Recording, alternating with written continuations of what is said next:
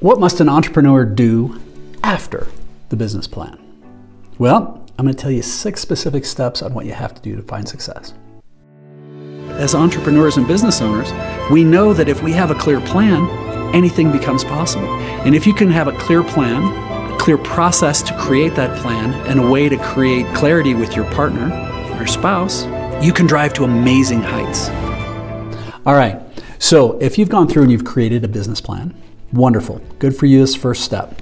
If you haven't, you're welcome to go to our uh, website or buy the book, aspiringsolopreneur.com. We have a whole course that helps you go through and very, very carefully, very safely go through without investing a bunch of money and build your own business plan with a team of advisors for free that will help really guide you in your direction and where you're going. You go through and it's like, okay, I've got my business plan.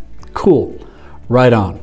First step, first of the six steps is make sure it's a no brainer. We actually talk about this in here, but there, there's a bunch of different questions you can answer yourself. And to me, the definition of a no brainer when you're looking at starting a business is hey, would I be an idiot not to do this?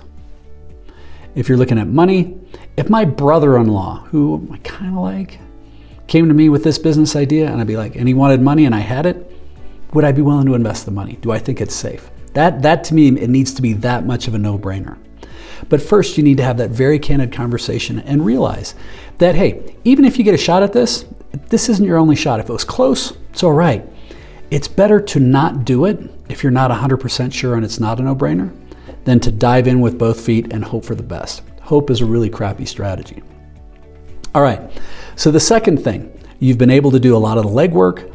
You've made it a no brainer. It's like, oh my goodness, this is going to be great. Well, now you need to make a plan. How are you going to execute on this business plan? How are you going to start to implement it? And again, we talk about that in the book and in the courses, but um, go through and really define out what does your day look like? How are you going to be doing these things? How much time do you need to be talking to? Who many, how many people, do, who many, sorry, how many people do you need to talk to? Who is it you need to be engaging with? You know, how are you going to handle it when you get refusals or when you get knocked down? How are those things and what does that look like? But make sure you have a very clear action plan. Because remember, you're going out on your own. And if you've only had a boss, and you always hated that guy because he was kind of a dick and you always tell me what to do and I don't want to do that. It's like, well, you're going to have to figure out how do you make that plan so that you are the boss and that you're going to then be able to hold yourself accountable, which leads to the third thing. The third thing is you got to take it serious. You've got to have the mindset that says, no, this is important.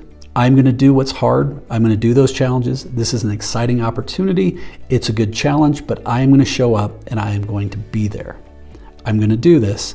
And you have to have that mindset when you're starting to take it. Because if you don't, don't pull the trigger.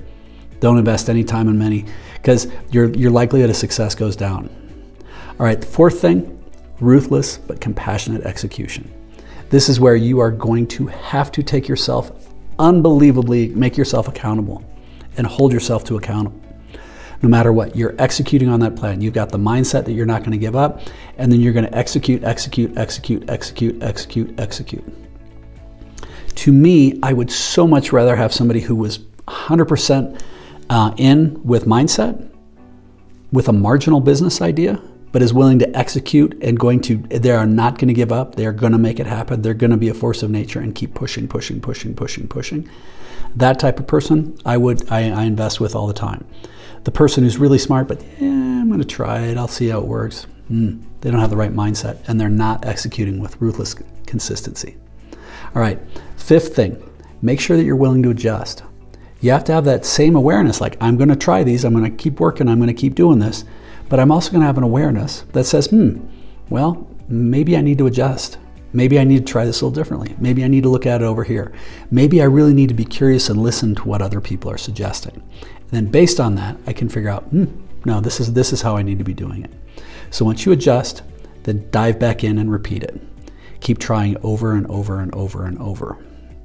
It's, it's not about, um, success doesn't just happen like this. Rarely does it happen. In fact, success is usually all over the place, but tenacity wins.